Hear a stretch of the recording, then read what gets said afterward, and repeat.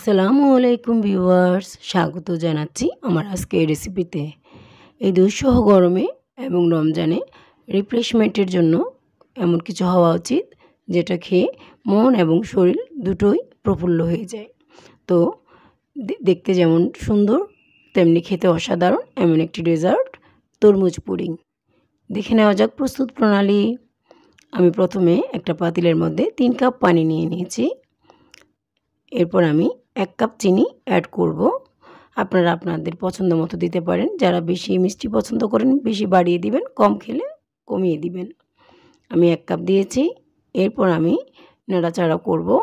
এর মধ্যে আমি দিয়ে দিচ্ছি আড়াই টি স্পুন অর্থাৎ two point five spoon agar agar powder. এই ভিডিওটা আমার স্কিপ হয়ে গেছে। স্ক্রিনে দেখতে পাচ্ছেন, পানিটা একটু ঘোলাটে হয়ে যাওয়া মানে আমি ওখানে আগার আগার পাউডার অ্যাড করেছি। এরপর আমি green colour half tea spoon add করেছি তরমুজের খোসার কালারটা হওয়ার জন্য। আর এটা যখন হয়ে আসছে কিছুক্ষণ নাড়াচাড়া করার পরে ঘন হয়ে আসলে আমি নামিয়ে নিয়েছি চুলা থেকে। তারপর আমি একটা পাতিলের মধ্যে সেট হওয়ার জন্য ঢেলে দিয়েছি। যখন সেট হয়ে আসবে, আমি একটা চাকুর সাহায্যে চারদিকে রাউন্ড করে কেটে নিব। আপনারা কোনো রাউন্ড শেপের কিছু থাকলে সেটা দিয়েও মাপ নিয়ে কেটে নিতে পারেন। আমি এমনিতেই কেটে নিচ্ছি। এরপর যখন আমার কেটে নেওয়া হয়ে যাবে, আমি মাঝখানের অংশটুকুকে উঠিয়ে ফেলব।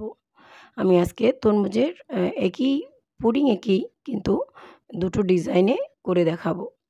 এরপর আমি হাত দিয়ে উঠিয়ে নিয়ে আরেকটা দুধের যে তরমুজের খোসার উপরে যে অংশ, সাদাটুকু অংশ, সেই অংশটুকু আমি নর্মাল লিকুইড দুধ দিয়ে করব। এখানে আমি দুই কাপ দুধ নিয়েছি, আর লিকুইড দুধ, আর দিয়ে দিচ্ছি এক স্পুন আগার আগার পাউডার তারপর দিয়ে দিব, চিনি দিয়ে দিব হাফ কাপ আপনারা আপনাদের পছন্দ মতো অ্যাড করতে পারেন। বেশি বা কমিয়ে আমি বাড়ি বাড়ি বলছি, খাওয়াটা আপনাদের উপরেই। যে যেমনটি খেতে পছন্দ করেন। আমি আমার পুডিংয়ের জন্য হাফ কাপ দিয়েছি। আপনারা আপনাদের পছন্দ মতো অ্যাড করতে পারেন। এটা সম্পূর্ণ আপনাদের যে যেভাবে খেতে চান সেভাবেই দিবেন। পছন্দ মতো। এরপর আমি সবগুলো আগার আগার পাউডার আর চিনি দেওয়ার পর ভালো করে নাড়াচাড়া করে বলক হয়ে আসলে আমি এটাকে নামিয়ে নিব। একটু ঠান্ডা হয়ে আসলে আমার আগে যে সেট করা পুডিংয়ের অংশটুকু, তার মধ্যেই মাঝখানে আমি ঢেলে দিব। ঢেলে দেওয়ার পর দেখতে পাচ্ছেন তরমুজের সাদা অংশটুকু আমি করছি। একটা মোল্ডের মাধ্যমে আমি মাপটা নিয়েছি। এরপর আমি চাকু দিয়ে কেটে নেব রাউন্ড করে। এইভাবে কেটে নিয়ে আমি মাঝখানের আবার অংশটুকু নিয়ে নিব। এর মধ্যে আমি অ্যাড করব তরমুজের অংশটুকু রেড অংশটুকু। আমি এভাবে নিচ্ছি। গরম থাকতে একটু ঢালবো। সেট, সেটটা এভাবে করতে হবে। যখনই আমরা ঢেলে দিব, এরপর একটার পর একটা রেডি করে ফ্রিজে রাখার আগে এই কাজটি করতে হবে। তারপর আমি কিছু তরমুজ নিয়ে নিয়েছি। এখানে তিন থেকে চার কাপ তরমুজ আমি বিচিগুলো বেছে নিয়ে ফেলেছি ওখান থেকে। তারপর আমি ব্লেন্ড করেছি। ব্লেন্ড করার পরে আমার তিন কাপ তরমুজের রস হয়েছে, জুস। এরপর আমি সেখানেও আড়াই টি স্পুন অর্থাৎ two point five tea spoon agar agar powder add করেছি। তারপর দিয়ে দিব হাফ কাপ চিনি। এরপর ভালো করে নাড়াচাড়া করে বলক আসলে, একটু ঘন হয়ে আসলে নামিয়ে নিব।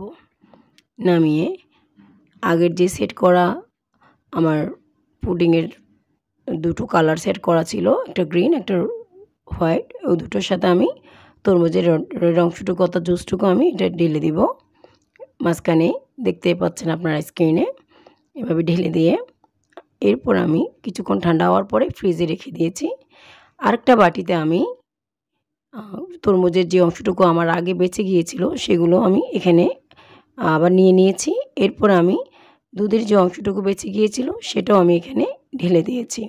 অর্থাৎ আমি আবার চুলায় এগুলো গলিয়ে লিকুইড করে ঢালছি। তরমুজের অংশটুকু সেম আগের। আমি ওখান থেকে যা বেঁচে গিয়েছিল সবগুলো আমি এ বাটিতে করে নিচ্ছি। আর তরমুজ থেকে আমি যে বিচিগুলো বেছে রেখেছিলাম, সেগুলো আমি এখন ন্যাচারাল বিচি বিচি হিসেবে আমি অ্যাড করব। পুডিংয়ের উপরেই। দুটো ডিজাইনের উপরে আমি বিচিগুলো অ্যাড করেছি। যখন ঠান্ডা হয়ে আসবে ফ্রিজে আমি দু ঘণ্টা রেখেছি। যখন জমে গিয়েছে, ঠান্ডা হয়ে আসছে, আমি এভাবে প্লেটে আনমোল করেছি। তবে আমার অসাবধানতার কারণে একটু ভেঙে গেছে, ফেটে গেছে পাশ দিয়ে। আপনারা দেখতেই পাচ্ছেন। কিন্তু খেতে অনেক ইয়ামি আর ঠান্ডা। এই গরমে তো আমরা সবাই ঠান্ডা কিছু পছন্দ করি। আর এটা অনেক ঠান্ডা করে যখন খাবেন, আপনাদের অনেক অনেক ভালো লাগবে। দেখতেই পাচ্ছেন আমি দুটো ডিজাইনে এভাবে আনমোল করে নিলাম। দেখুন দেখুন, এটাও রাউন্ড শেপে কেটে নিচ্ছি আমি। এবং কেটে সার্ভিং ডিশে সার্ভ করব।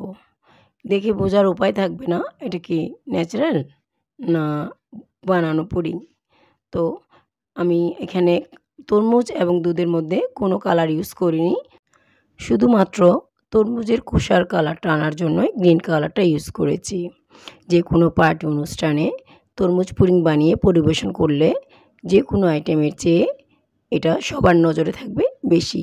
অল্প উপকরণে বানিয়ে ফেলুন তরমুজ পুডিং। আর আমার রেসিপি যদি ভালো লাগে তাহলে সাবস্ক্রাইব করে পাশে থাকা বেল আইকনটি ক্লিক করে লাইক শেয়ার করবেন। সবাই ভালো থাকবেন, সুস্থ থাকবেন। আল্লাহ হাফেজ। আসসালামু আলাইকুম।